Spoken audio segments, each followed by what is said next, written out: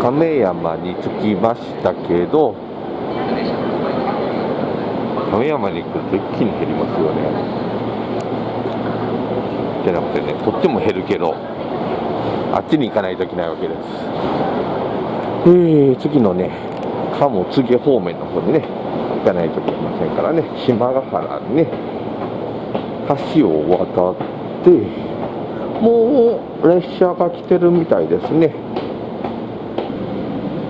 だいぶ沿線の広告も増えましてね。観光関連の。鴨行きはこっちか。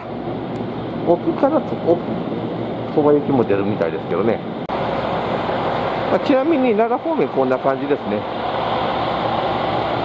ザ・関山って感じですけどあまり東海側とそこまで大差がないんですよね。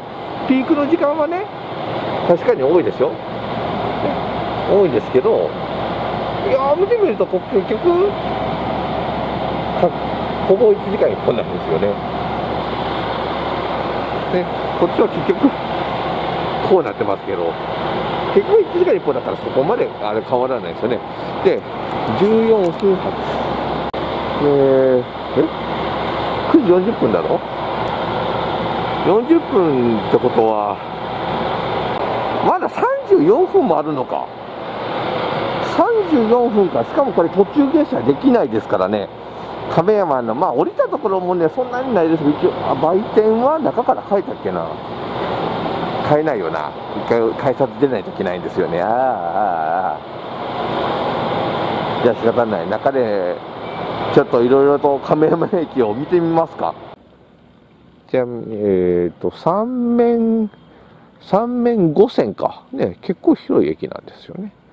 三面五線に間に留置線まであるっていうね、えー、ところです。これ反対側に行くとねこっちはこれもずっとねまとまってくるって感じですけどまあこっちでも車両切手とかもあるからまあちょっと面白いじゃ面白いですけどなんか四日市名古屋方面奈良方面とかって書いてあるとね一瞬近鉄感がありますけどね。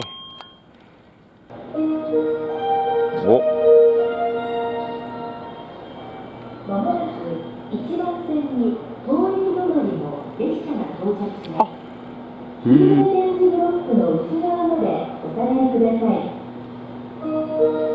の。後の電車に乗っても結局一緒だったんだ。これは、快速か。な？そうですね、快速を名古屋きに変わってますね。こいつが折り返して、そのまま次の列車に使われ運用されるんですね。へえ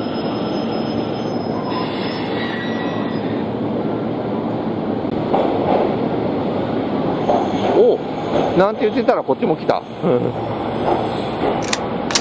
すっかり入場シーンを取り逃しましたね。おカム行きになって。あさっきのやっぱやこっちに来るんですね。ああ結構お客さんいるじゃないですか。さあ。じゃあもう列車で席を確保しましょう。ということで鴨行きね。乗ってえっ、ー、とね島ヶ原ね。島ヶ原に行きましょう。ワンマンでは先頭車の後ろ乗り前降り。だから途中で前で降りないといけないんですね。うん準備してあるわ。う